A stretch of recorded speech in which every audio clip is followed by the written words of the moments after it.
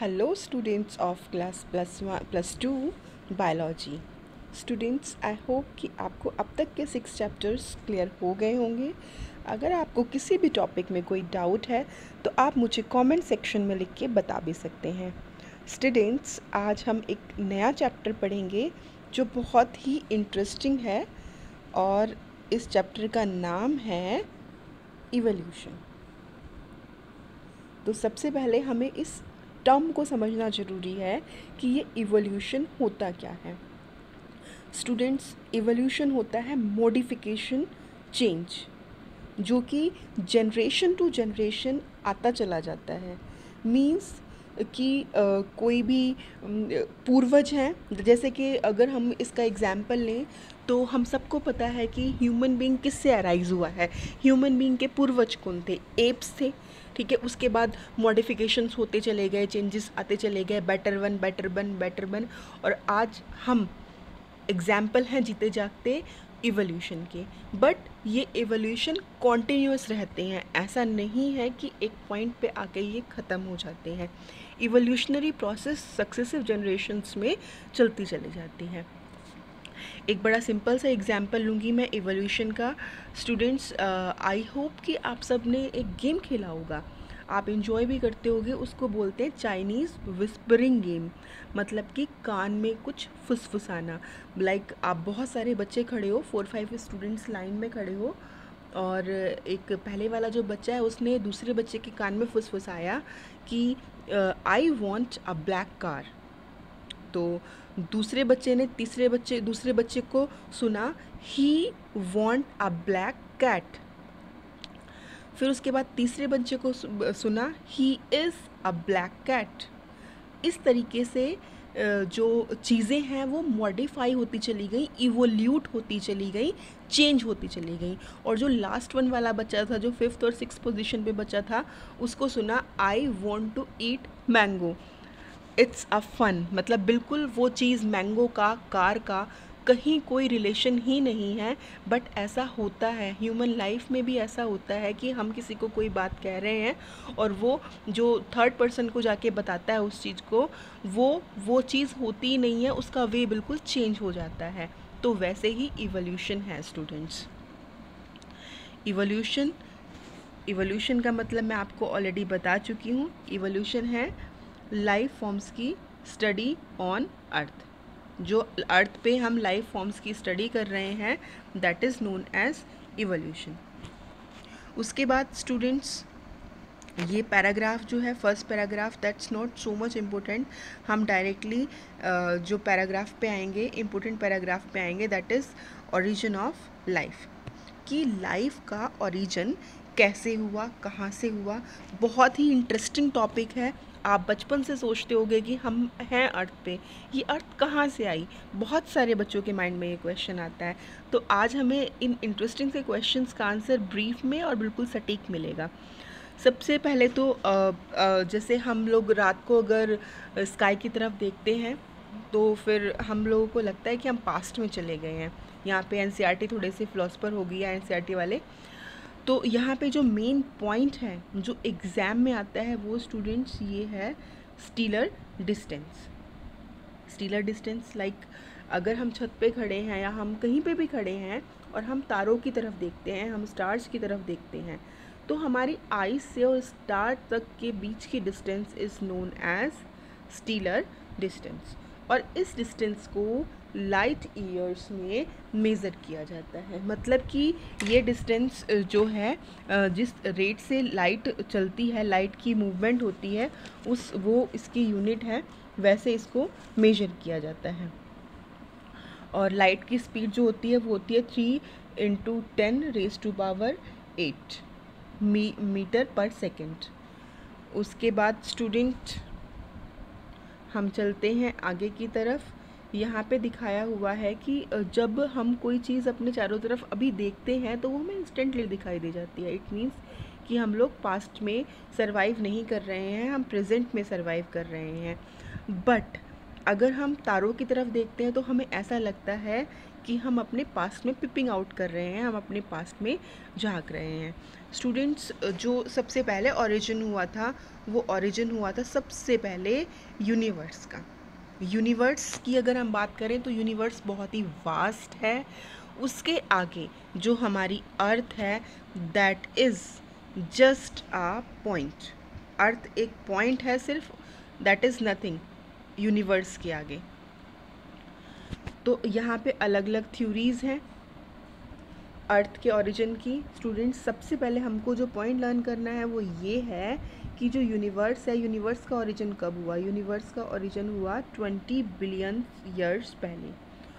Twenty billion years पहले हुआ और यूनिवर्स का ओरिजिन और उसके बहुत साल बाद, बहुत साल यानी कि 4.5 बिलियन ईयर्स बाद हुआ था अर्थ का ओरिजिन तो वो कैसे हुआ? वो हम अब यहाँ पे पढ़ेंगे स्टूडेंट्स तो सबसे पहली जो थ्योरी है वो है बिग बैंग थ्योरी। देखिए, ये वाली theory, big bang theory. Big bang का मतलब क्या है? बिग बैंग थ्योरी ये कहती है कि जो लाइफ ओरिजिनेट हुई है, ह्यूज एक्सप्लोजन से ओरिजिनेट हुई है। ह्यूज एक्सप्लोजन जैसे कि ये है, एक सिंगुलर एक्सप्लोजन। एक एक्सप्लोजन हुआ और लाइफ इधर उधर बिखर गई। ठीक है? सबसे पहले जो अर्थ का टेम्परेचर था बहुत ज़्यादा था, लेकिन उसके बाद धीरे धीरे जैसे कि एक्सप्लोजन हुआ, फैलाव हुआ तो वो टेम्परेचर कूल डाउन हो गया धीरे धीरे वो टेम्परेचर कम हो गया और हाइड्रोजन और हीलियम गैसेस फॉर्म हो गई। सबसे पहले हाइड्रोजन और हीलियम गैसेस फॉर्म हुई थी। स्टूडेंट्स और हाइड्रोजन और हीलियम गैसेस की वजह से क्या बना? मिल्की वे बनी, जो ये हमारी है। तो it proves that 4.5 years back हमारी अर्थ का ओरिजिन हुआ। अभी दो चीज़ें ओरिजिनेट हो गई हैं universe and earth but earth पे लाइफ अभी भी नहीं आई है। अर्थ पे लाइफ आना बाकी है। इसके बहुत साल बाद अर्थ पे लाइफ आई। तो जो अर्थ पे स्टार्टिंग में जो चीज़ें थी, वो हमको देखनी है। हम वो चीज़ लर्न करेंगे वैम से। वैम का मतलब क्या होता है? वैम का मतलब होता है वाटर हाइड्रोजन अमोनिया और मीथेन। इनिशियल अर्थ पे स्टूडेंट्स कोई भी टेम्परेचर कोई भी एनवायरनमेंट नहीं था एटमॉस्फेयर सॉरी सॉरी एटमॉस्फेयर नहीं था इनिशियल अर्थ पे ये गैसेस थी। टेम्परेचर धीरे धीरे कूल होने लग गया था तो क्या हुआ अल्ट्रा वायलेट रेस की वजह से सन की ये हाइड्रोजन ब्रेक डाउन हो गया टू पार्ट्स में हाइड्रोजन और ऑक्सीजन ऑक्सीजन का कॉम्बिनेशन हुआ मीथेन के साथ और अमोनिया के साथ. मीथेन और अमोनिया के साथ जब ये कंबाइन हुए तो इन्होंने CO2 बनाया H2O बनाया और ओजोन लेयर की फॉर्मेशन हुई स्टूडेंट्स ये बहुत ही इम्पोर्टेंट पॉइंट है. ओजोन लेयर बन गई है.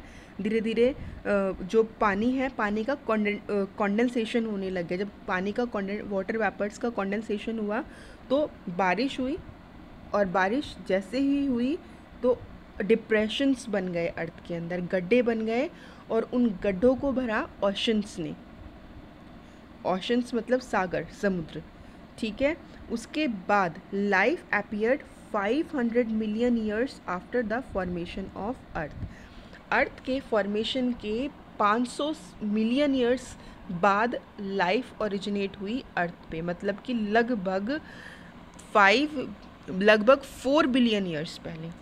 तो स्टूडेंट्स यहाँ पे अलग अलग थ्योरीज़ हैं अलग अलग बायोलॉजिस्ट की। कोई कहता है कि लाइफ इस तरीके से ओरिजिनेट हुई, कोई कहता है लाइफ इस तरीके से ओरिजिनेट हुई। बहुत सारी फ़नी थ्योरीज़ भी हैं, बहुत सारी अच्छी थ्योरीज़ भी हैं। तो अब हम इन थ्योरीज़ को ही बेसिकली पढ़ेंगे।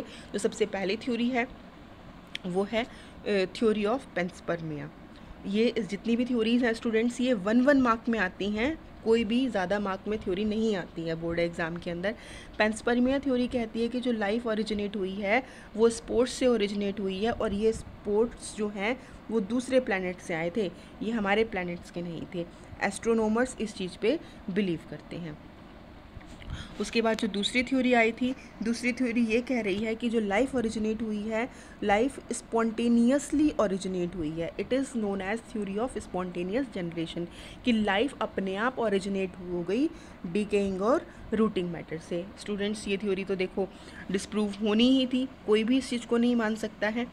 उसके बाद एक और साइंटिस्ट आए, जिनका नाम था लुइस पाश्चर लुइस पाश्चर के बारे में जितने भी बच्चे बायोलॉजी पढ़ते हैं, बड़े अच्छे से जानते हैं। उन्होंने कहा कि लाइफ जो आई है लाइफ आई है प्री एग्जिस्टिंग लाइफ से। मतलब पहले कोई लाइफ थी, उससे लाइफ ओरिजिनेट हुई। इस चीज़ को करने के लिए, इस चीज़ को प्रूव करने के लिए उन्होंने एक एक्सपेरिमेंट किया। उन्होंने एक प्री स्टलाइज फ्लास्क लिया। प्री स्टलाइज का मतलब होता है जिसमें कोई भी इन्फेक्शन ना हो प्योर हो। इस तरह का फ्लास्क लिया। उस फ्लास्क को ओपन रखा। उन्होंने उस फ्लास्क को ओपन रखा। तो उसमें कोई भी माइक्रो ऑर्गेनिज़म नहीं आया। उसके बाद उन्होंने यीस्ट को रखा एक फ्लास्क के अंदर और एक बार एक के अंदर तो उसका जो फ्लास्क का ढक्कन है उसको क्लोज़ कर दिया और एक बार ओपन करके रखा। तो जो फ्लास्क ओपन था, उसमें माइक्रो ऑर्गेनिज़म्स प्रोड्यूस हो गए, लेकिन जो क्लोज था, उसमें माइक्रो ऑर्गेनिज़म्स प्रोड्यूस नहीं हुए। इट प्रूव्स कि माइक्रो ऑर्गेनिज़म माइक्रो ऑर्गेनिज़म को प्रोड्यूस करता है। मतलब लाइफ से लाइफ ओरिजिनेट हो रही है। बट ये जो थ्योरी है, ये थ्योरी भी बहुत ज़्यादा नहीं चल पाई। ये भी थ्योरी जो है वो डिस्प्रूव हो गई।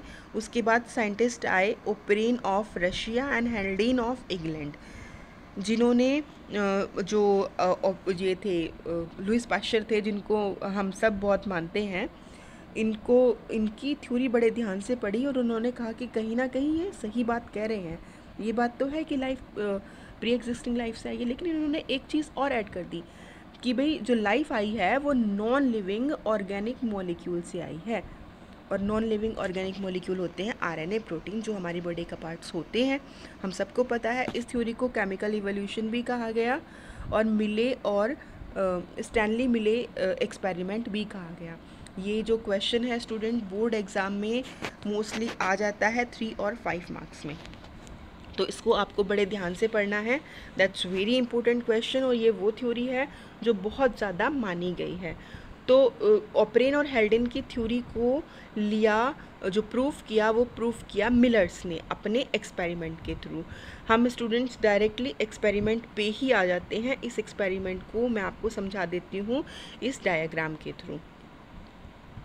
देखो मिलर ने क्या किया? मिलर ने एक एक्सपेरिमेंटल सेटअप किया। उसने एक लैब के अंदर एक ये ऑपरेटस था उसका। तो इसने, उसने ये, इन गैसेस को ले लिया। हाइड्रोजन हो गया वाटर हो गया अमोनिया हो गया और मिथेन हो गया। इनिशियल अर्थ का टेम्परेचर कैसा था? बहुत ज़्यादा था। वोल्केनोज होते थे इरप्शंस होते थे वोल्केनिक इरप्शंस होते थे। तो उसने वोल्केनिक इरप्शंस की जगह पे इलेक्ट्रोड्स ये इलेक्ट्रोड पास किए ताकि वो एक्सप्लोजन हो। और यहाँ पे पानी है, पानी को गर्म किया गया तो वाटर वेपर्स बन गए। क्योंकि इनिशियल अर्थ पे वाटर वेपर्स प्रेजेंट थे। यहाँ पे कंडेंसर है ये, पानी यहाँ से बाहर जा रहा है, यहाँ से अंदर आ रहा है। यहाँ पे एक्सपेरिमेंट के थ्रू जो भी चीज़ बनी रिएक्शन से जो भी बना, वो सारी चीज़ यहाँ से होती हुई यहाँ आएगी। और जो यहाँ चीज़ आई, जो ये मिलर था यूरे था, इन्होंने देखा कि यहाँ पे जो आई है लास्ट में थ्योरी यहाँ पे लास्ट में जो प्रोडक्ट बना है दैट इज़ अमीनो एसिड और हम सबको पता है कि जो ये अमीनो एसिड है, ये हमारी लाइफ का बेस है, हमारी बॉडी के अंदर डीएनए प्रेजेंट है। ये चीज़ हम सब जानते हैं, लेकिन यहाँ पे ऐसा नहीं था। यहाँ पे क्या था? आरएनए मिला और आरएनए सिंगल स्ट्रैंडेड है, ये आप सबको पता है, आपने चैप्टर फ़र्स्ट और सेकंड पढ़ा है। तो यहाँ पे सिर्फ़ अमीनो एसिड्स ही नहीं मिले थे फैट्स भी मिले थे। बहुत सारी और चीज़ें भी मिली थी। तो इस आरएनए को एक कवरिंग मिल गई और जैसे ही आरएनए को कवरिंग मिली, वैसे ही ये बन गया यूनिसेलुलर ऑर्गेनिज्म। और यूनिसेलुलर ऑर्गेनिज्म के बाद उसको धीरे धीरे धीरे धीरे मॉडिफिकेशन होते चले गए और मल्टी सेलुलर ऑर्गेनिज्म का फॉर्मेशन हो गया। लेकिन ये एक्सपेरिमेंट बड़े अच्छे से प्रूव करता है। कि जो हमारी लाइफ ओरिजिनेट हुई है, वो लाइफ ओरिजिनेट हुई है inorganic non living organic matter से लाइफ ओरिजिनेट हुई है। This is proved by the experiment Miller and Urey ये चीज़ स्टूडेंट्स आपको बहुत अच्छे से लर्न करनी है। आज की क्लास में मैं आपको सिर्फ़ इतना ही बताऊँगी। अगर आपको कोई डाउट हो तो आप कमेंट सेक्शन में ज़रूर लिखें। Students Kindly subscribe my channel. Thank you. Have a nice day.